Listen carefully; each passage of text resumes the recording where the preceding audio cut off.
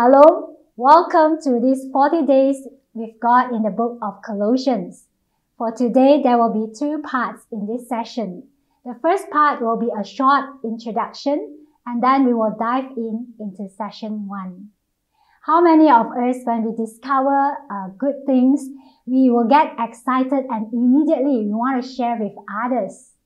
For example, this uh, recent e-Penjana 50 ringgit uh, through Touch and Go and Boost. Do you know about it? Did you share with others? Have you ever encountered people sharing good things with you? And that was exactly what Epaphras did. Epaphras was from Colossae. He went to Ephesus. Ephesus is about 160 kilometers from um, Colossae probably about uh, the distance between Kuala Lumpur and Malacca. But back in those days, there was no cars.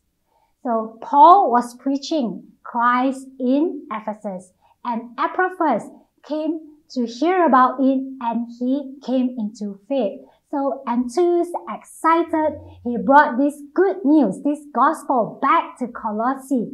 And as a result, just like him, some of the Colossians came to faith and the church in Colossae was birthed. And the book of Colossians is a letter written to this young church by Paul.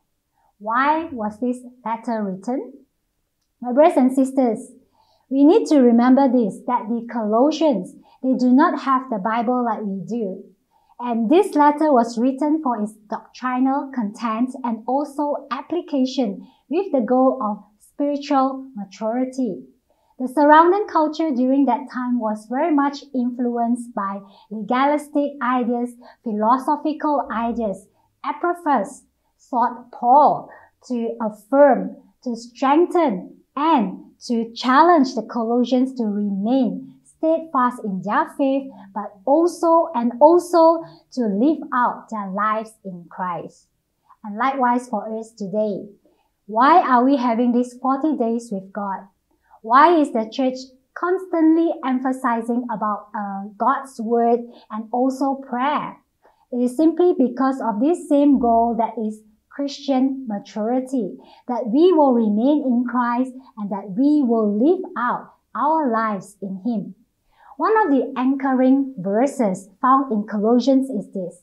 Colossians chapter 2 verse 6 to 7. So then, just as you have received Christ Jesus as Lord, continue to live your lives in Him, rooted and built up in Him, strengthened in the faith as you were taught, and overflowing with thankfulness. The theme for the book of Colossians is Christ centered. This was Paul's wise approach in countering false uh, teachings and also heresies to be Christ centered. Paul did not argue or defend what others were claiming. He just simply shared the fullness of Christ because to Paul, the knowledge of Christ himself is all sufficient to expose all false ideology. Christ himself suffices. Amen. My brothers and sisters, this is something notable for us to emulate. For example, we do not need to argue, we do not need to defend, we do not need to get agitated or ruffle up or try to correct others when uh, about their commands or their practices. We just need to share the greatness and the goodness of Christ. Live it out as a testimony in our lives and allow others to see for themselves that Christ himself suffices. There will be five sessions in this series, and today is going to be session one. The title for today's session is Faith in Christ. And the scripture passage that we are going to cover for today is Colossians chapter 1 verse 1 to 14. I believe that most of you who are following this series, you would have read this passage. One prominent thing noteworthy in uh, Paul's uh, letter is that he encapsulated the overall uh, doctrinal content in the form of prayer right at the start in the beginning in chapter 1 which we are going to look into later on and then in the, at the end in chapter 4, that will be our last session. Everything begins and ends with prayer. Did you know that prayer goes hand in hand with our faith? Meaning, our faith requires us to pray, and we pray because we have faith. Our faith meaning being a Christian, we are called to pray. And why do we pray? It is simply because we have faith that God is true to His word, that God is true to His promises, and He will answer our prayers. Our faith requires us to pray, and we pray because we have faith. There are three levels to Paul, Paul's prayers in this passage, and the first level is blessings. Verse 1 and 2. Paul, an apostle of Christ Jesus by the will of God, and Timothy, our brother, to God's holy people in Colossae and our faithful brothers and sisters in Christ, grace and peace be to you from God our Father. Paul's signature salutation in all his letters always include grace and peace. Paul often uses one word to convey the richness of its meaning. Grace and peace here is not simply a, a simple uh, casual greeting like how we ask, how are you? I hope that you are doing fine and you are well. Both grace and peace are gifts of God that Paul blesses their hearers and in his greetings, likened to a prayer of blessings unto them. Grace and peace to you from God our Father. Paul alluded grace to salvation, the gospel itself. When he greeted, grace be to you, he meant forgiveness, redemption, restoration, justification, glorification, enabling power and grace be unto you as well. So it's not, I hope that you are fine, I hope that you are well, but all of this richness of his blessings to be prayed unto you to be blessed unto you. This is the saving grace that brings forth the saving faith. And when Paul greeted, peace be unto you, that is the peace of God that is beyond understanding that He is praying upon your life. The peace with God, reconciling all things, making us right with God, uh, God's acceptance of us, the peace with others, that harmony, that non-hostility, the living in peace with one another, the peace with self, the absence of strife, the absence of confusions within us uh, that is um, affecting us sometimes. So Paul, when he greeted peace be unto you, Paul meant all of this be also unto you. Can you now see the richness of Paul's uh, blessings in his salutation? He is praying the fullness of salvation, that faith in Christ right at the start of his greeting for the hearers. My brothers and sisters, whenever you read of these uh, greetings in these epistles or letters as we call it, may I encourage you to also receive these blessings and encouragements and appropriate, appropriate them into your lives so that it will strengthen your faith. Another aspect of peace is where the prophets of Old Testament speak of shalom, uh, the complete restored created order. Jesus Christ is the shalom prophesied. Jesus Christ is the shalom fulfilled. And Jesus Christ is the shalom restored reconciling all things on earth and in heaven to himself. Colossians chapter 2 verse 10. Paul prayed blessings upon the Colossians in his greetings. The second level of Paul's prayer is thanksgiving. The scripture reference are from verses 3 to 8, which I will not be reading. Again, Paul here was praying for the Colossians with thanksgiving to God for their faith in Christ, expressed through their love for the believers because of their hope that they have in heaven. Paul was thankful because these young believers had not fallen away from their faith despite that impending pressure to do so. He prayed for them constantly that they may be anchored strongly in that gospel that they have heard so that they will not be enticed, so that they will not be snatched away and falter away from their faith. My brothers and sisters, who are some of those uh, young and vulnerable in faith that uh, we can pray for them that they will not falter away from their faith? Could it be our children? Could it be the youths in our church? What about those who just got back uh, from overseas from their studies? Or young adults who are uh, pressured by career on one hand and a new family life on the other hand? Could they be newcomers, new believers in that faith, or someone who is wavering in their faith because of that crisis that they are going through? Who are some of those that we can stand along with in prayer and encouragement, even during this phase of their faith and their journey in life? Our prayer avails, avails much, for there are lots of um, temptation and ideologies out there. My brothers and sisters, our prayers produced by our faith in Christ are effectual. I can testify that um, I faltered from uh, my faith after primary school. In my secondary school, there was no Christian fellowship, and because of that excitement, teenage years, I kind of forgot about God.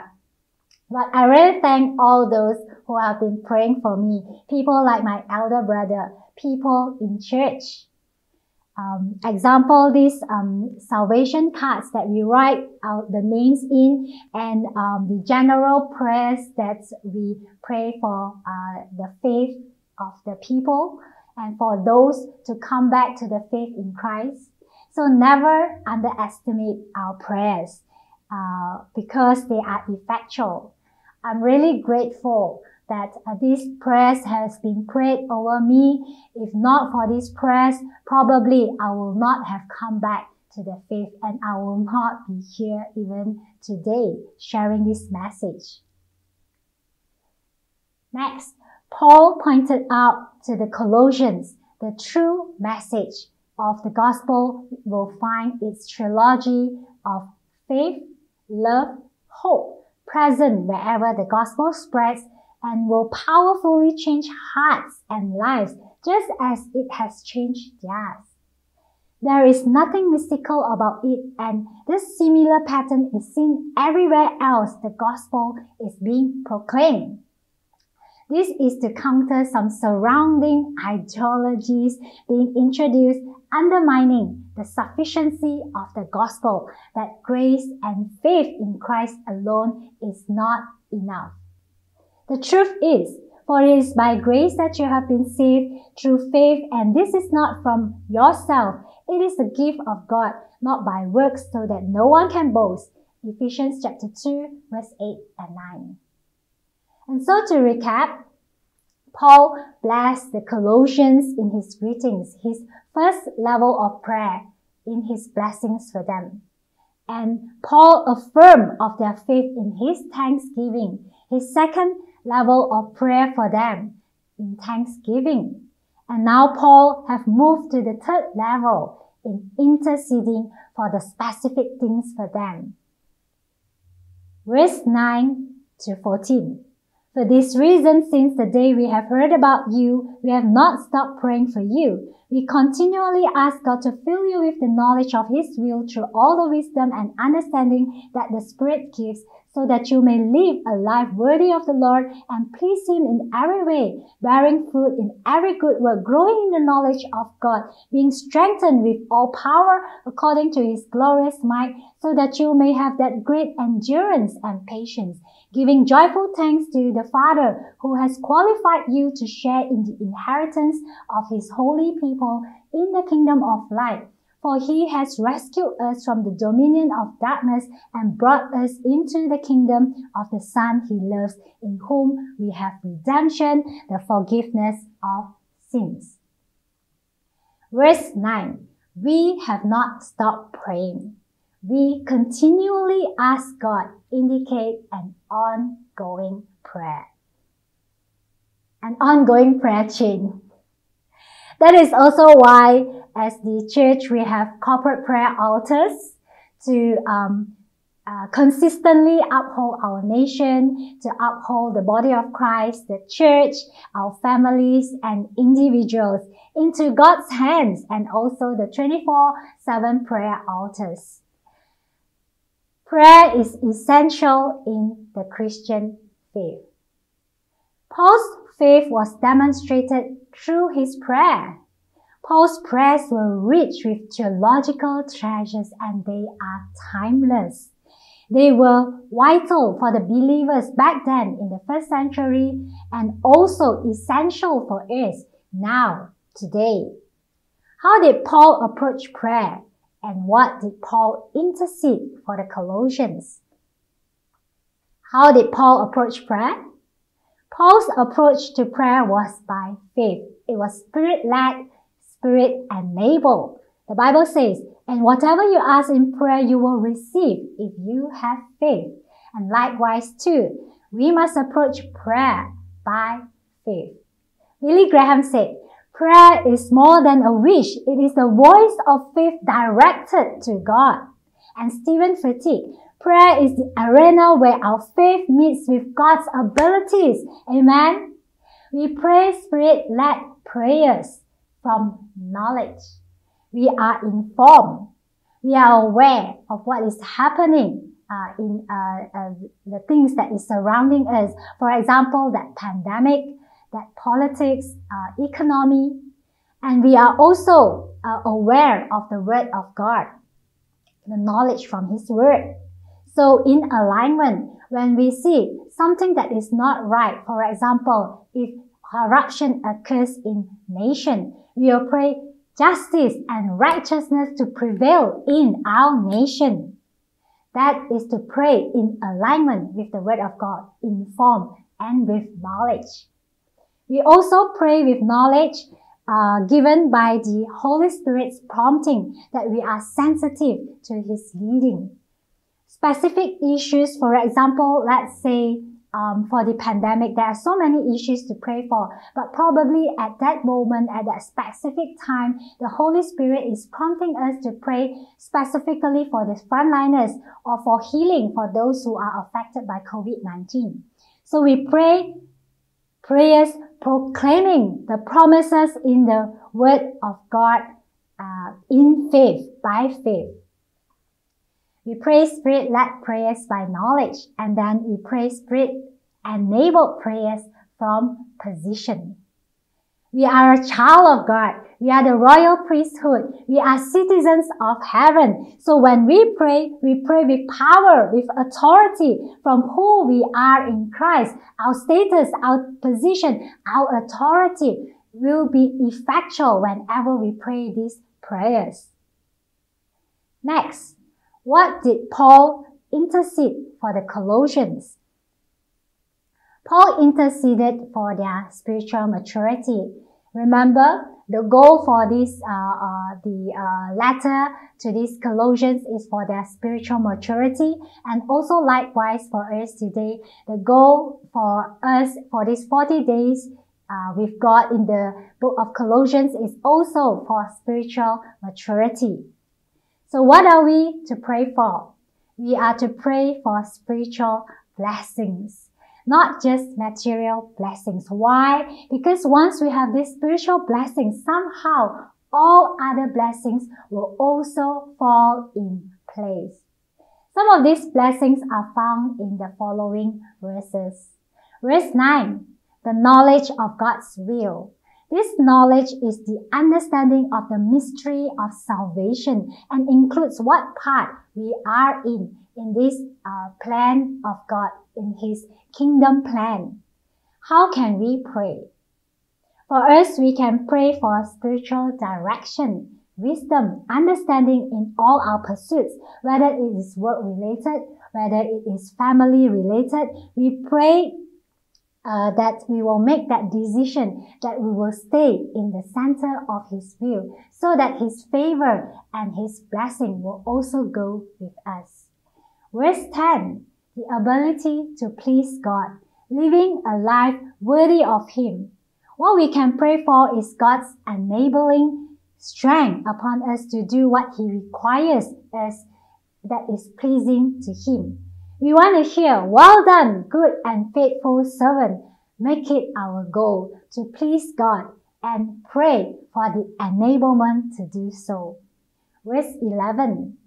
Increase spiritual power. Here in this context, is not that uh, spiritual power for miracles or for prophecy, for healing, or even speaking in tongues, but instead it is to achieve two virtues First, the endurance and then the patience. Let's pray that we will have that spiritual power to bear the fruit of the Spirit in all these virtues. May we be able to withstand giving in to our negative soulish passions or desires and instead be ruled by faith, be ruled by love, be ruled by hope that we have in heaven. And in the concluding verses, since Christ has rescued us from the dominion of darkness and into the kingdom of light, let us constantly let us constantly give thanks with a joyful heart as we share in his inheritance, the eternal life inherited through our faith in Christ.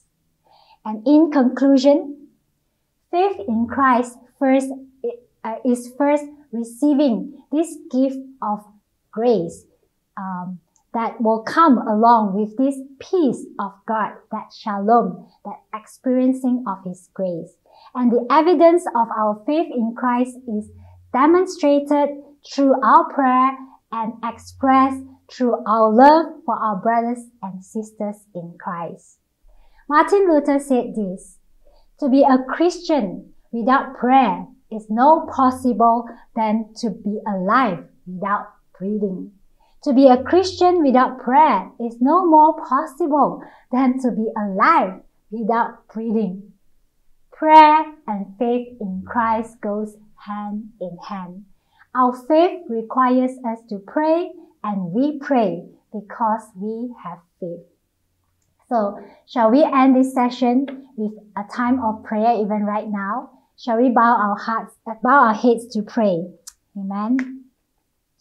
Lord Jesus, we thank you for your grace that is accorded to us and your peace that so surround us. Thank you for granting us this salvation and our faith in you. And to some of us who have not fully known you, we ask that Jesus, you come into our hearts and we make you master and Lord of our lives, not just part, but all aspects of our lives. Help us to grow in spiritual maturity and be pleasing to you. Thank you for your forgiveness and your love and that inheritance of eternal life which is through our faith in you. In Jesus' name we pray. Amen. Thank you and may you be blessed uh, by this first session uh, faith in Christ. We see you in our next session. Shalom.